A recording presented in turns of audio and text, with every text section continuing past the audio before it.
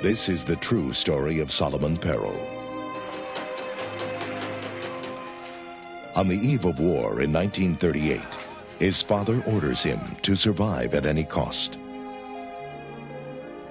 Separated from his home and family, he embarks on an odyssey, the likes of which has never been seen on the screen before. Europa Europa from director Agnieszka Holland. A controversial film in the tradition of Voltaire's Candide and Jerzy Kosinski's The Painted Bird. For Solomon Perel, war brings comfort in the strangest places.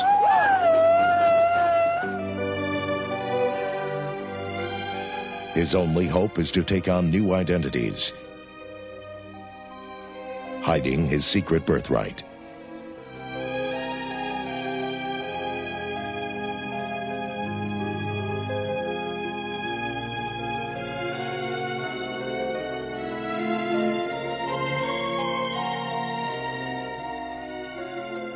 A movie that captures a turbulent era on an epic canvas.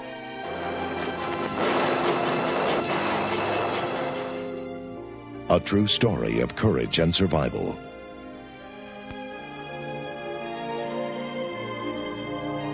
Europa Europa from Orion Classics.